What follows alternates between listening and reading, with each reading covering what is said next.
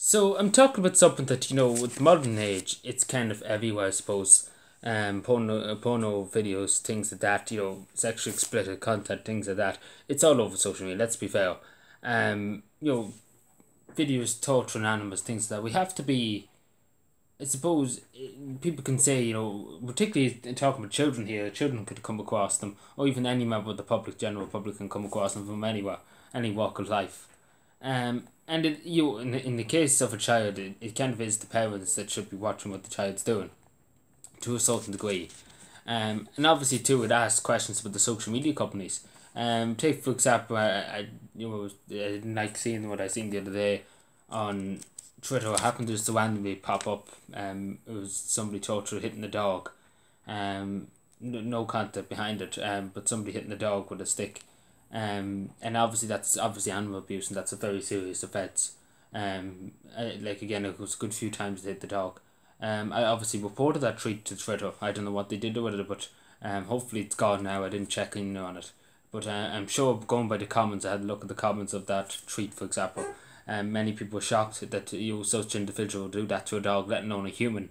Um, because we all know with psychopaths and things like that, they generally start hoarding animals and then moving on to humans.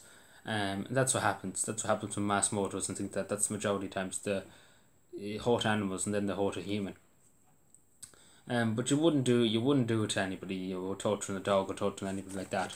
Um, and obviously sexually explicit content, OnlyFans, things like that. Um, you know, with all we you know, on Twitter, there's a very dark side to Twitter too.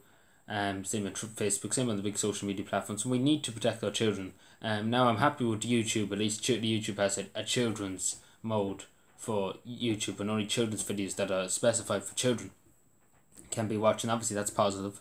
Um I I downloaded the app the other day um to check it I, I went into it you it's only songs, baby songs, things like that. But still I didn't find any harmful. I looked through it, especially just to see could I come across anything harmful.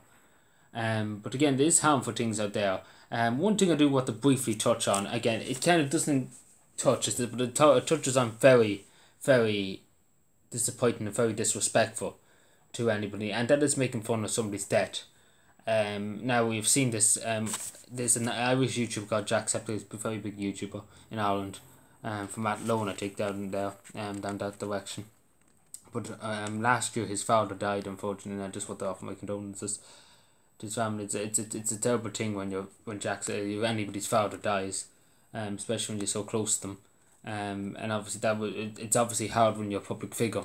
Um, especially if you're a YouTuber, things it's very hard to keep your private life out of that. Um, to keep your private people from knowing that you're unfortunate your father passed away.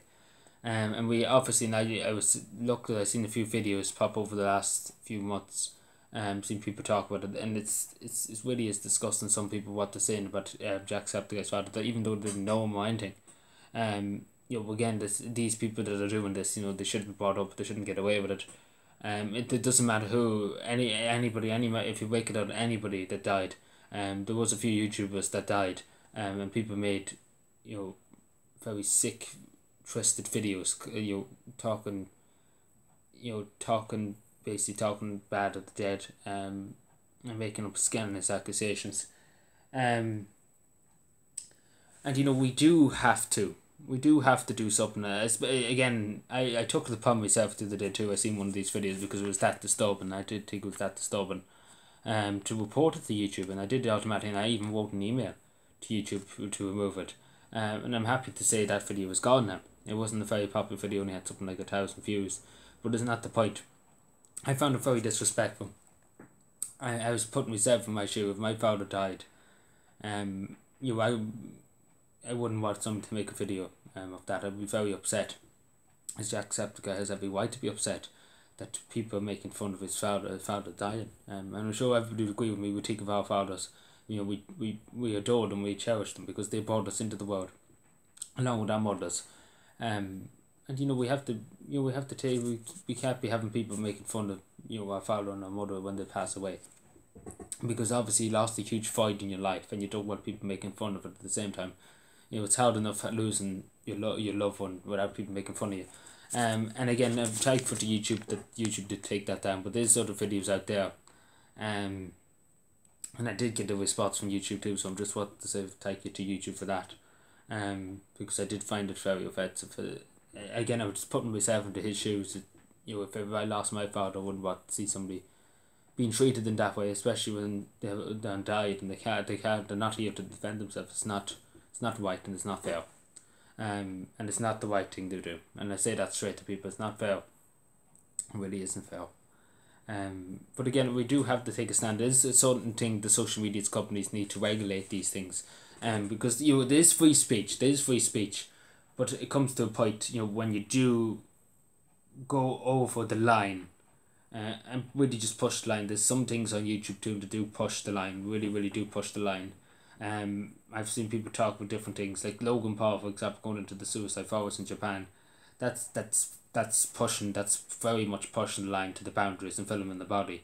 Um, that's that's going above and pushing the line, especially because his his audience is basically children, um, and then putting it up on your YouTube channel for your children to see it, um, without even said censoring it. And at one uh, at one stage in Take he took it down, but um, you know, something like that. You know, you can't just get a slap in the wrist and say, "Oh, it's fine. I was forgiven," because God knows how many children got scarred um, by seeing that. I know myself. You know, I would be terrified, even if I was an adult, even seeing a dead body or on anything. Um, I would be terrified.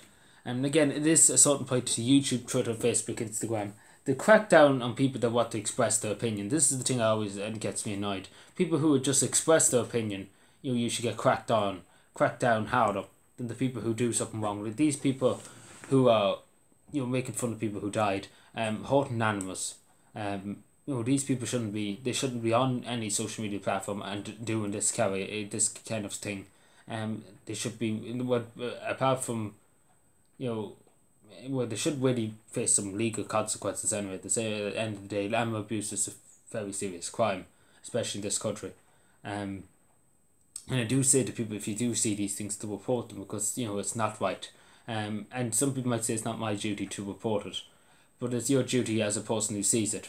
And you know, I again, I took it upon myself to report them two things I seen. Um. Because you know, I wasn't going to let a child see it. Um, and you know, think that's okay to make fun of people who died. Um, or take for example, seeing somebody abusing the dog and then taking then doing it because they think it's okay because that's what children do taking their head. Um, and that's something we have to snap out and say you know that's not allowed it shouldn't be accepted and it's not accepted in society and it's not accepted online. Even though there is a fine line between society and online.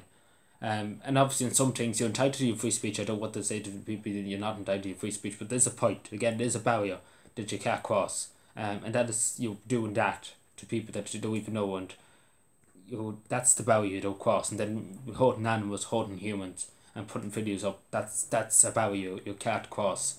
Um, and we need to be very firm on that as if people, as people who are on social media, we can't allow that to happen. Whatever about putting up pornographic images or anything on a social media platform where children could access them or videos or whatever. Um, you know, that's not as bad as these the animal abuse or anything that that's not as bad, but it still shouldn't be done on a public platform where innocent children can see it. And I know it sounds like a big conservative, but it's just it's you know it's not right. It's not it's not accepted in society for a, a, woman or a man to walk on the street naked. It's not accepted, um, and it shouldn't be accepted online. Um, but then take care, everybody. Um, let me know what you take. Um, I do say to people who do come across these videos, it's not for it's not for you. If you do, it's not for your sake, but it's for who could see it afterwards. A child, you know, and it's not right. It's not right what's happened. Some things that are happening online, and I say that straight to you. Um, and it is our duty, you know, to to do our bit. Is supposed to make the, internet a small bit safer by reporting things. Um, obviously, people using the free speech on that don't report that, obviously. But um, it's it's people that are breaking the law, and this is animal abuse is breaking the law. Um, you're basically mean, very mean to somebody who passed away or anything like that, uh, or even bullying people to a certain degree. Um, you know, that's obviously there's laws against that. Um, and we do have to clamp down on these things. Thank you.